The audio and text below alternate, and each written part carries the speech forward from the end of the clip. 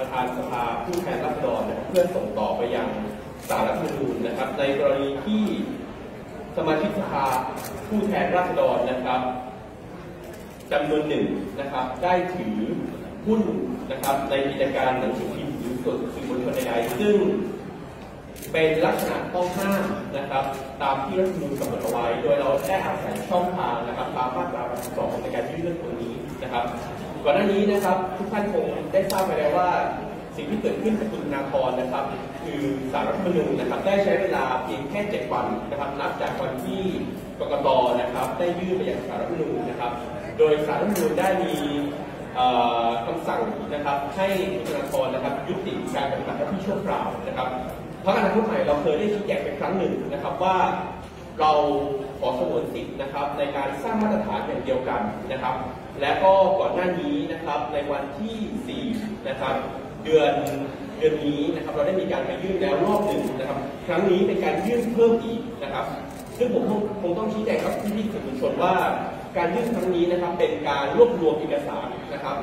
ก่อนหน้านี้เรารวบรวมได้ก้อนหนึ่งนะครับ เราก็ยื่นไปแล้วนะครับไปยังประธานประธานสภาผู้แทนราษฎร นะครับ วันนี้เราก็ยื่นก้อนหนึ่งนะครับ รวมตอนนี้นะครับที่เรายื่นไปทั้งหมดนะครับ จากวันจากครั้งแรกและครั้งนี้รวมกันทั้งสิ้นนะครับ 41 รายชื่อนะครับ ซึ่งประกอบไปด้วยนะครับพรรคพลังประชารัฐนะครับ 27 นะครับพรรครวมพลังประชาชาติไทยนะครับ2นะครับมีพรรคนะครับประชาธิวัฒน์นะครับ1นะครับและครั้งนี้นะครับเราได้มีการยื่นเพิ่มนะครับ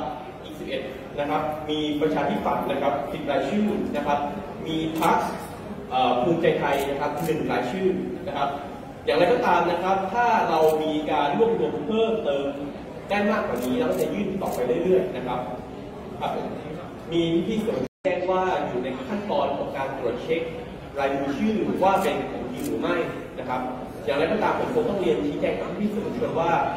เป็นของจริงแน่นอนนะครับ เพราะเรามีการนัดนะครับให้เพื่อนๆสมาชิกของเรานะครับ ได้มาเซ็นและไปยื่นหนังสือร่วมกัน เช่นเดียวกันกับวันกับวันนี้นะครับที่มีการประชุมสภานะครับ สมาชิกสภาผู้แทนราษฎรนะครับมาปฏิบัติหน้าที่ที่สภาอยู่แล้วเราก็ได้มีการเซ็นรายชื่อเหมือนกันนะครับ แล้วก็ยื่นเหมือนกันดังนั้นเนี่ยเรื่องปัญหาว่าเป็นลายมือชื่อจริงไหมไม่แน่าจะเกิดขึ้นนะครับ เราค่อนข้างคาดหวังว่าประธานสภาจะใช้เวลาให้รวดเร็วหน่อย นะครับในการส่งหนังสือตรงนี้นะครับไปยังสารรัฐมนูญนะครับ